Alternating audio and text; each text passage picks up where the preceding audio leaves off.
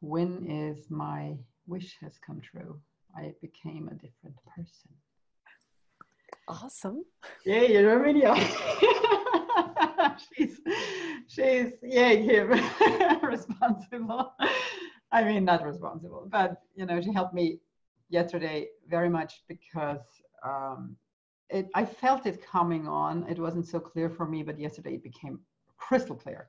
My niche or my clients is not my real tribe. I don't do weight loss anymore. It's much more that I will be doing, which means uh, I wrote it in the in the group permission to live.